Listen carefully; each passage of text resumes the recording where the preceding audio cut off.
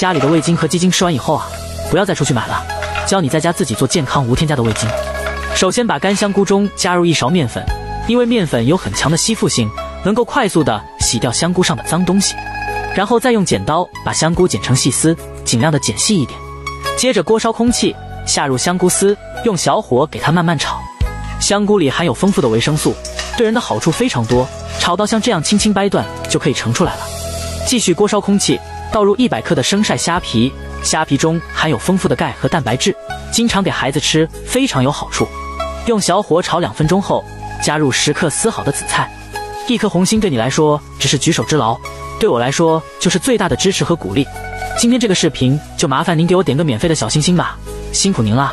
炒到虾皮和紫菜一捏就碎，先把香菇打成粉，再下虾皮和紫菜一起打成粉，纯天然的自制味精就做好了，自己做的没有添加剂。煮面条的时候放上一小勺，加点葱花，再放生抽和香油，其他任何调味料都不要放了，汤鲜味美。